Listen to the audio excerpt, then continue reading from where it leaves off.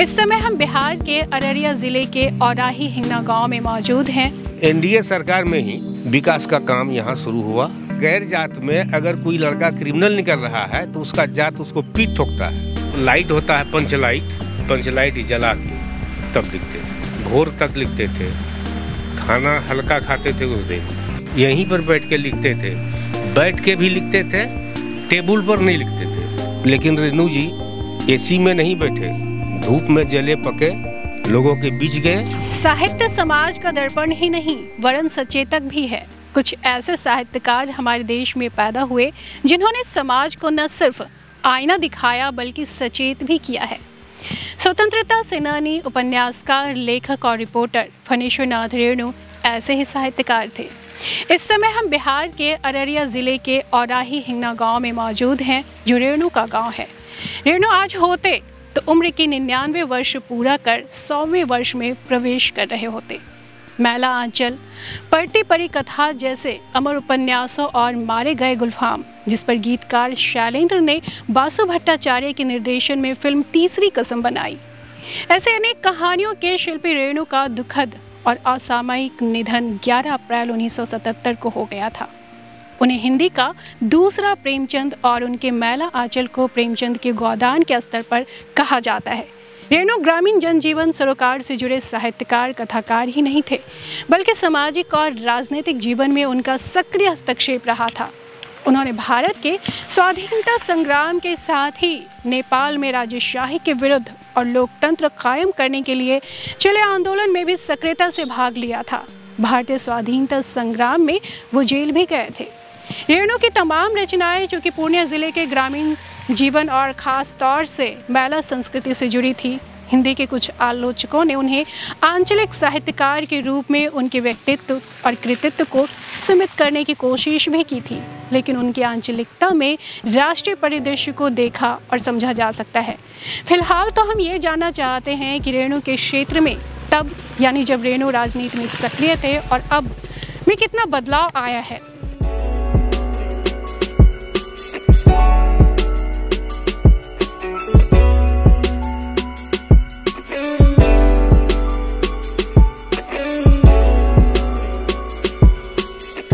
पहुँच गए हैं फनेश्वर नाथ रेणु के घर पर। वैसे तो इस गाँव का नाम औराही हिंगना है, लेकिन लोग इसे रेणु ग्राम कहते हैं। यहाँ कुछ लोग मौजूद हैं, आइए हम उनसे जानते हैं, उनसे बातचीत करते हैं और जानने की कोशिश करते हैं कि तब से अब में फनेश्वर नाथ रेणु के समय में जो राजनीति परिदृश्य थे और अब में कितने बदलाव आए हैं।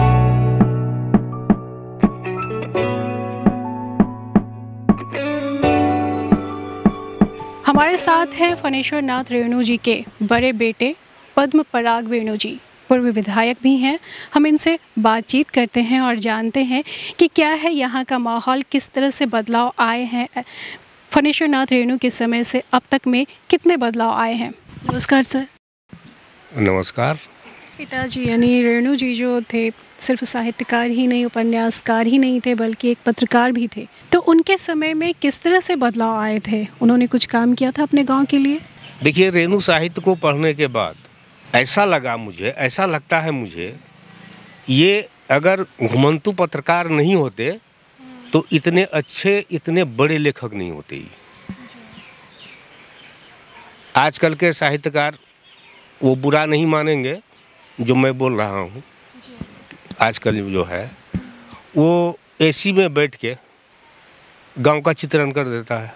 लेकिन रेणु जी एसी में नहीं बैठे, धूप में जले पके, लोगों के बीच गए, लोगों से पूछताछ किए, लोगों का अनुभव को बटोरे, उसी को उन्होंने लिखा है।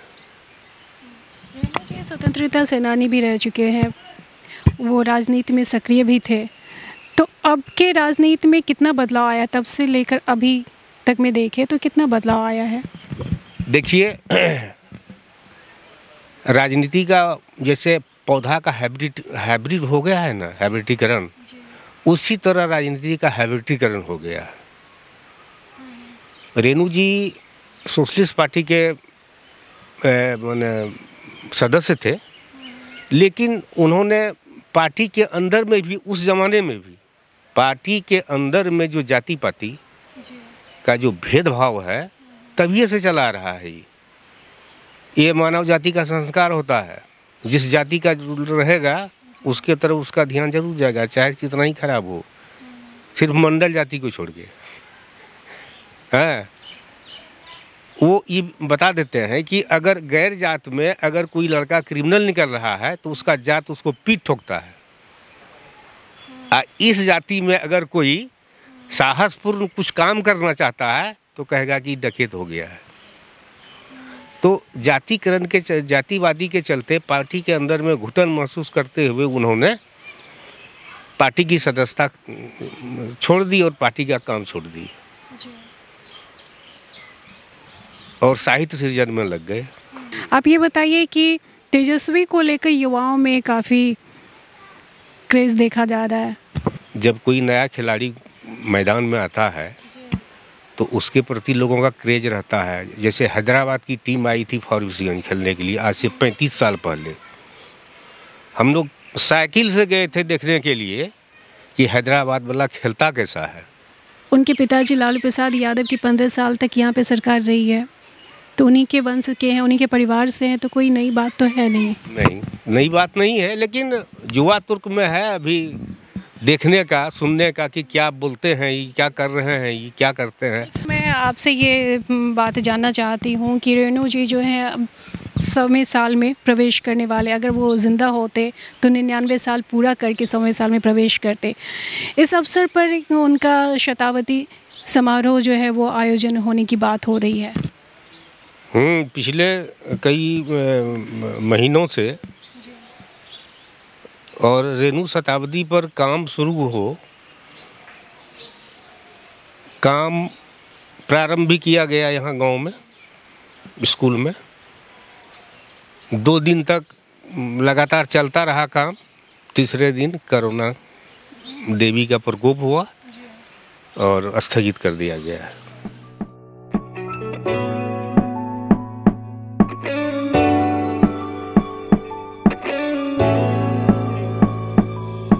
इस घर में पैदा लिए। यहाँ पले बड़े भी। और जितनी सारी रचनाओं का जो वो रचना रचे तो यहाँ से शुरू किए वो। ये घर अब तक आप विधायक भी रह चुके हैं। अब तक आपने इस घर को फूस कर रखा हुआ है। देखिए बड़े बड़े लोगों का आना जाना होता है तो उसी में से कुछ लोगों ने कहा था कि इसको ऐसे रहने दीजिएगा। और यह बड़ी यादगार चीज़ है कि रेणु जी इतने बड़े महान साहित्यकार हुए, लेकिन वही अदना फूस का घर। तो पिताजी का मानना ये था कि हम पक्का बना सकते हैं, लेकिन गाँव में पक्का बने तब ना। गाँव में सबको पक्का का घर हो जाए तो हम भी बना लेंगे। हम रहेंगे पक्का के घर में, गाँव वाला रहेगा फूस का घर में तो उसके मन में तो होगा वो ठेस। दादाजी हमारे जमींदार आदमी थे, साढ़े तेरह सौ एकड़ ज़मीन था।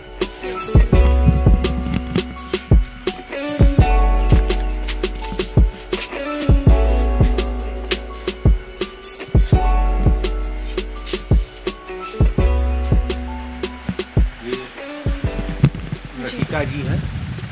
मेरी दूसरी माँ। ये भी लतिका जी हैं।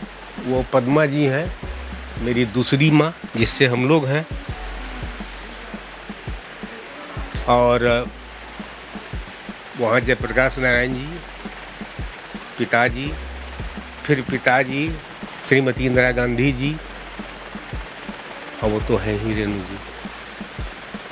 इसी घर में पैदा हुए थे। हाँ इसी घर में पैदा हुए थे। ये वही घर है जिसमें इतने बड़े साहित्यकार फणेश्वर नाथ रेणु ने जन्म लिया। हम उस घर को भी देखना चाहते हैं जिस घर में और भी यहाँ पे कई फूस के घर हैं जहाँ पे वो अपनी रचना को रूप दिया करते थे। यहीं पे। यहीं पर बैठ के लिखते थे।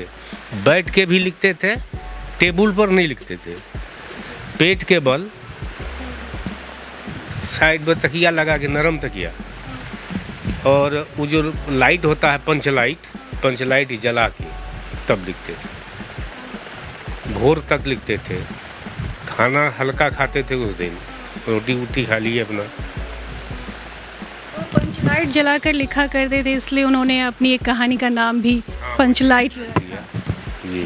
बहुत अच्छी कहानी और पंचलाइट पे बहुत सारे नाटक भी लोग किया करते हैं। इस पंचलाइट को, उनका काफ़ी नाट्य रूपांतर किया गया है। बड़े बड़े मंचों पे जो रंगमंच के कलाकार हैं, वो इस पर नाटक करते हैं।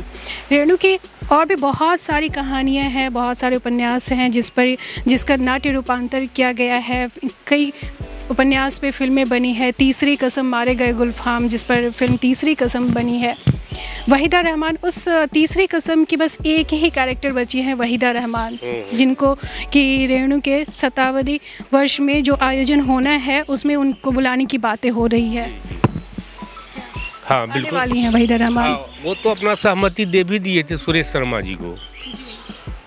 और फिर यहाँ कोरोना के चलते गड़बड़ा गया वो सब।